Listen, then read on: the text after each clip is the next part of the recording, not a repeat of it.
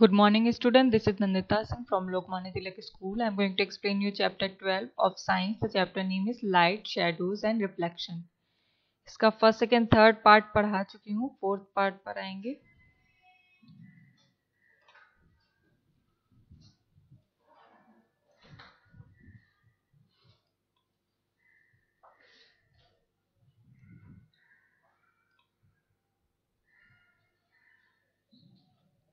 आज है आपका nature of a shadow.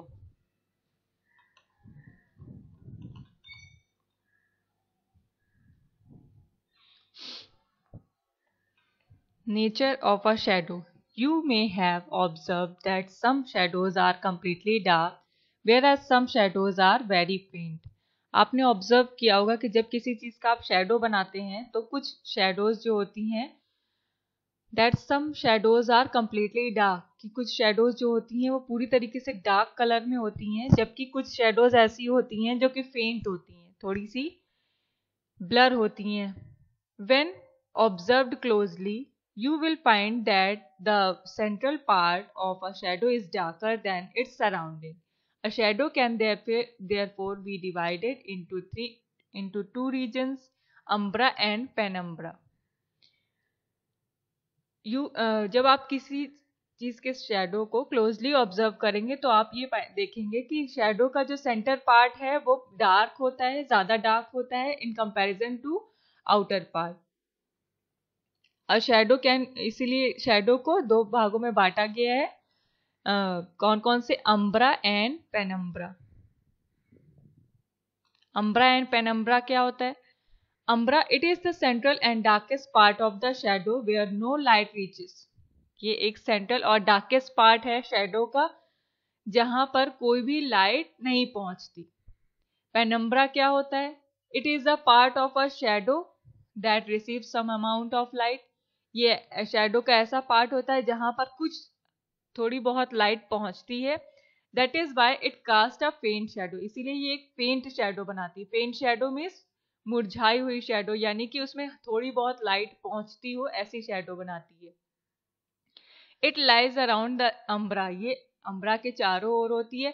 When an object blocks the light completely it cast a dark and sharp shadow on the screen जब कोई object light को पूरी तरीके से ब्लॉक कर देता है तो ये एक डार्क और शार्प शेडो बनाती है स्क्रीन पर। In this situation only the umbra is form ऐसे सिचुएशन में सिर्फ़ अम्ब्रा ही फॉर्म होता है।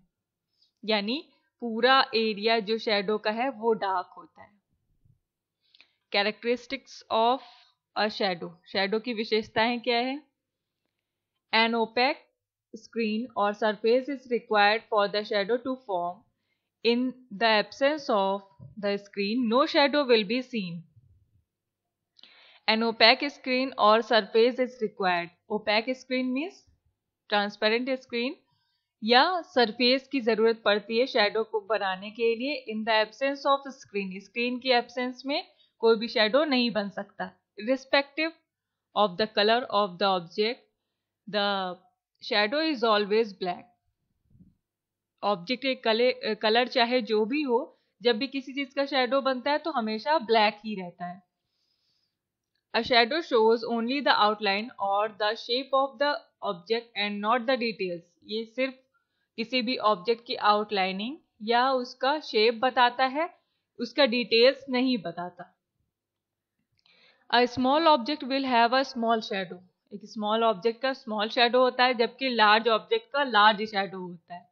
जितनी बड़ी चीज़ आप रोशनी में लेकर के आएँगे, उतना बड़ा उसका शेडो बनता है। और अगर बड़ा ऑब्जेक्ट है तो बड़ा शेडो बनेगा। When the distance between the object and the source is decreased, the shadow becomes larger जब when the distance between the object and the source is decreased source यानी कि लाइट जिस चीज़ से आप लाइट डाल रहे हो when the distance between the object and the source is decreased अगर ऑब्जेक्ट और टॉर्च या लाइट जो भी है जो भी सोर्स आप यूज़ करें उसके बीच का डिस्टेंस कम कर दिया जाए तो शेडो बड़ी होने लगती है और जब when the distance between the object and the source is increased the shadow becomes smaller और जब ऑब्जेक्ट और सोर्स के बीच में डिस्टेंस को बढ़ा दिया जाता है तो शेडो बड़ी होने लगती है when the distance between the object and the screen is decreased the shadow becomes smaller जब ऑब्जेक्ट और स्क्रीन के बीच में ऑब्जेक्ट और स्क्रीन के बीच में डिस्टेंस बढ़ा कम किया जाता है तो क्या होता है कि शेडो स्मॉल होने लगता है और जब डिस्टेंस ऑब्जेक्ट और स्क्रीन के बीच में बढ़ा बढ़ा दिया जाता है तो क्या होता है? शेडो बड़ा होने लगता है। Eclipses what is the meaning of eclipses? Anyone knows the meaning of eclipses? No ma'am. Lavanya? No, eclipses means होता है ग्रहण। ग्रहण जानते हैं? सूर्य ग्रहण चंद्र ग्रहण है ना? इसी के बारे में है ये para. Formation of eclipses are also based on the principle of rectilinear propagation rectilinear propagation मैंने बताया था। रेक्टिलीनियर यानी कि स्ट्रेट लाइन में चलने वाला ट्रेवल करने वाला प्रोपेगेशन मीन्स स्प्रेड होने वाला। जिससे लाइट स्प्रेड होती फैलती। ग्रहण यानी इक्लिप्सिस का फॉर्मेशन कैसे होता है? ये इसका भी प्रिंसिपल जो है, इसका भी सिद्धांत जो है, ये किसके प्रोसेस पे काम करता है? रेक्टिलीनियर प्रोपेगेशन यानी कि स्ट्रेट लाइन में चल करके फैलने वाले ये प्रोसेस को वो फॉलो करता है। Eclipses are the shadows form in nature eclipses जो शेडोज बनाता है इक्लिप्सेस एक शेडोज हैं जो कि नेचर में फॉर्म होती हैं। Sometimes the moon and the earth also cast shadows on each other कभी कभी क्या होता है कि मून और अर्थ भी शेडोज बनाते हैं एक दूसरे पर। This happens when the sun moon and earth align in a straight line ये तब होता है जब सन मून और अर्थ एक लाइन में सीधे खड़े होते हैं। Let us understand how this happens अब हम ये देखेंगे कि कैसे होता है इक्लिप्सेस कैसे होते हैं। It was twenty four solar eclipse यानी कि सोलर यानी कि रिलेटेड टू सन यानी सूर्य ग्रहण it was twenty four October 1995, the sun suddenly went back during the day. The daylight disappeared for a for a very brief period of less than a minute. How could this happen? ये twenty fourth October 1995 की बात है कि सन जो है suddenly गायब हो जाता है दिन के टाइम पे और दिन का जो रोशनी है वो कम होने लगता है एक मिनट से भी कम समय लगता है जब दिन की रोशनी पूरी कम होने लगती है हाउ कुड दिस हैपन ऐसा कैसे होता है us try to understand what might what might have happened we know that sun provides us light we also know that the earth revolves around the sun while the moon revolves around the earth अब हम ये समझेंगे कि ऐसा कैसे हो सकता है वी नो दैट हम सब जानते हैं कि सन जो है हमें लाइट देता है लाइट प्रोवाइड करता है। और हम ये भी जानते हैं कि अर्थ जो है वो सन के चारों ओर चक्कर लगाता है।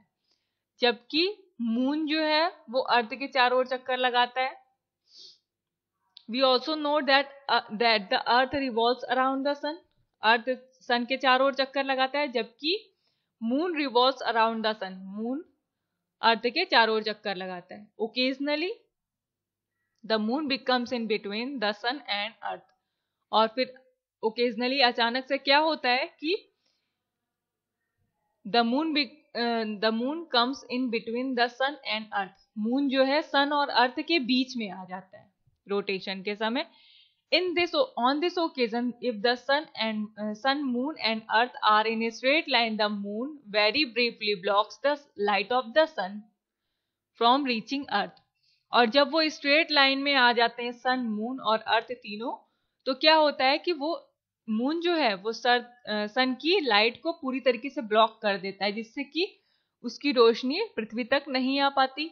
In other words the moon cast it shadows on the earth. और दूसरे वर्ड्स में हम क्या कह सकते हैं कि मून अर्थ की शेडो बन जाता है। The moon cast is shadows on the earth moon अपनी शेडो को अर्थ पर डालता है। This phenomena is known as solar eclipse ये जो प्रोसेस है, इसे हम सोलर इक्लिप्स कहते हैं, सूर्य ग्रहण कहते हैं। During a solar eclipse the dark side of the moon is towards us which happens on a new moon day thus a solar eclipse always occurs on a new moon day और इस solar Eclipse के समय क्या होता है कि dark side जो होता है मून का, वो हमारे तरफ़ आ जाता है और which happens on a new moon day जो कि एक न्यू मून डे की तरह हमारे लिए होता है। Thus are solar eclipse always occurs on a new moon day solar eclipse भी हमेशा एक न्यू मून डे की तरह वर्क करता है, हमारे लिए समझा जाता है। The region on earth that falls in the moon's umbra will witness a total solar eclipse. The region on earth earth का जो एरिया है रीजन है, क्षेत्र है that falls in the moon's umbra moon's umbra means moon का जो shadow है shadow का जो सेंटर पार्ट है। जो कि मून का जो शेडो है, जो पृथ्वी पर गिरती है will witness a total solar eclipse वो पूरी तरीके से सूर्य ग्रहण को शो करती है. दैट इज़ टोटल डार्कनेस जिसमें पूरी तरीके से अंधेरा हो जाता है. दिन में एकदम रात हो जाती है. All the place falling in moon penumbra will notice will witness a partial solar eclipse that is partial darkness और जब क्या होता है कि मून हाफली शेडो बनाता है तो फेंटली शेडो बनाता है तो क्या होता है कि ये सोलर इक्लिप्स पार्शियल डार्कनेस में होता है। थोड़ा बहुत अंधेरा होता है बहुत ज़्यादा नहीं होता। कॉशन में क्या दिया है? Never look at the sun directly during the during a solar eclipse with unaided eyes not even with a binocular or telescope this can cause permanent eye damage or blindness use protective eye filters uh, to safely view an eclipse A pinhole camera can be used to form an image of the sun on a screen placed about a meter behind the opening. कभी भी सूर्य ग्रहण पड़े तो हमें उसको open eyes से नहीं देखना चाहिए अनकवर्ड आइज़ से नहीं देखना चाहिए क्यों क्योंकि ये हमारी आई साइट को पूरी तरीके से डैमेज कर सकती है, हमें ब्लाइंड बना सकती है, हमें बाइनोकुलर या टेलीस्कोप से भी नहीं देखना चाहिए। हमें या तो स्पेक्स लगा लेने चाहिए गॉगल्स लगा लेने चाहिए, जिससे कि पूरी रोशनी डायरेक्ट हमारे डायरेक्ट रेज उनकी हमारी आँखों पर ना पड़े। या फिर हम पिन होल कैमरा का यूज़ कर सकते हैं, जिससे कि हम सन की इमेज बना सकते हैं। Now I am going to end this class good day